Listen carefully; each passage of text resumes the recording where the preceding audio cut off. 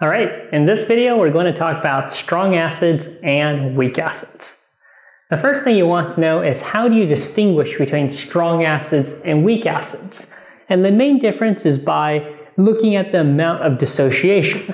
For strong acids, we say that they completely dissociate in solution, whereas weak acids only partially dissociate in solution.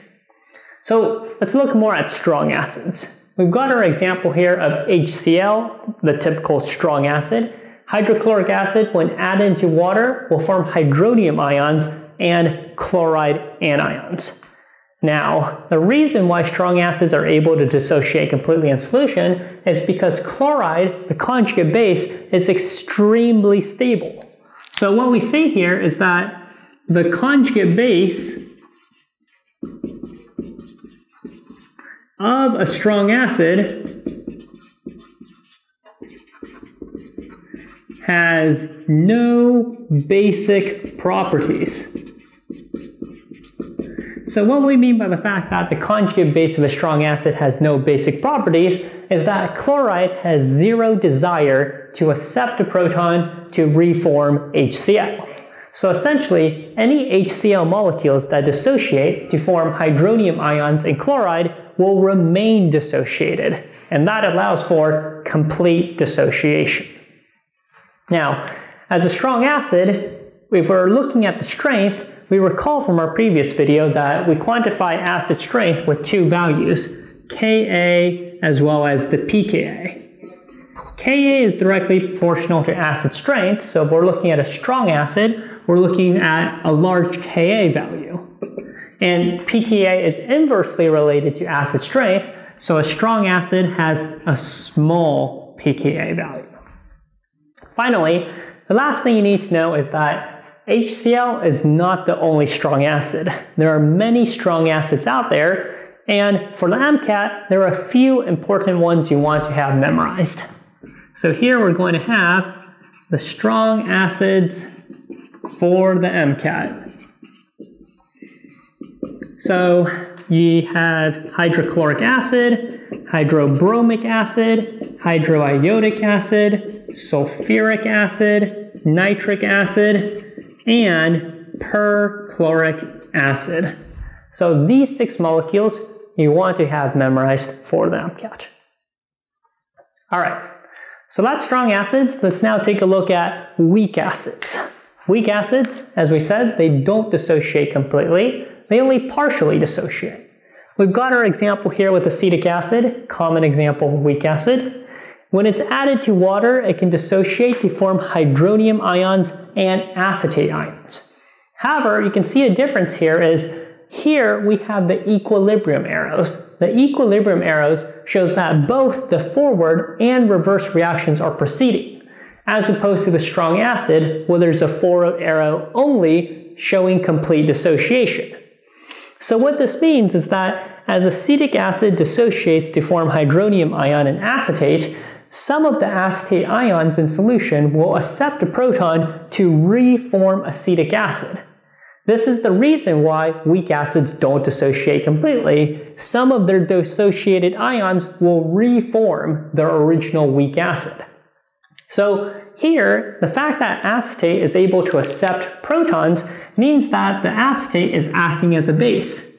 And what you need to know is that the conjugate base of a weak acid is a weak base. Now, here's where you have to be a little careful because there's a lot of confusion out there. A lot of students think, hey, if this is a weak acid, its conjugate base should be strong, but that's incorrect. All right, remember, anything that is strong dissociates completely in solution. So this is a strong acid, dissociates completely, so its conjugate base has no basic properties. That would mean that if acetate were a strong base, then it would dissociate completely, so acetic acid should have no acidic properties. However, that is incorrect. So what's helpful to keep in mind is that the conjugate of a weak is another weak. So our weak acid here, its conjugate base is a weak base.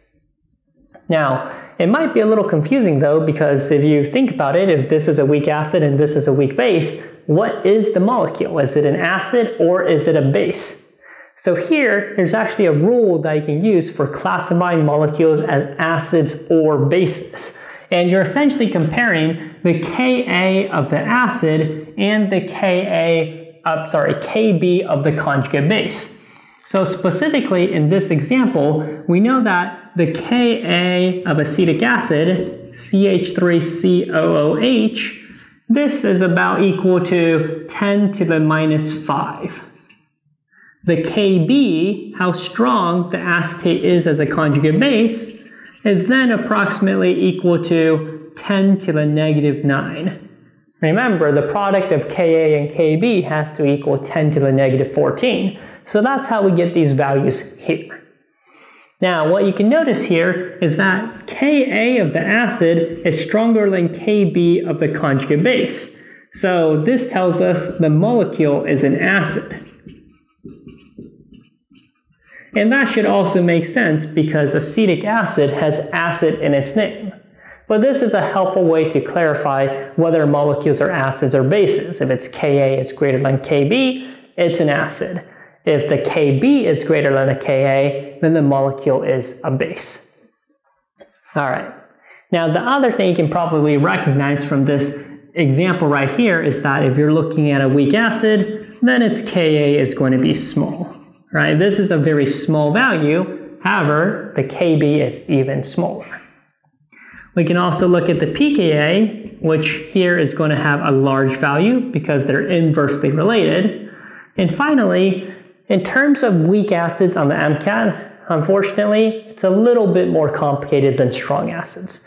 Strong acids, we've got a small list for you to have memorized, Weak acids, we can't give you a list because there are way too many possible weak acid molecules that can show up on the exam. So the way that you actually operate for the MCAT is on the MCAT, any acid that is not a strong acid is a weak acid. All right, again, on the MCAT, if you see an acid, it's donating protons. If it's not one our six strong acids, you're expected to assume that that is a weak acid.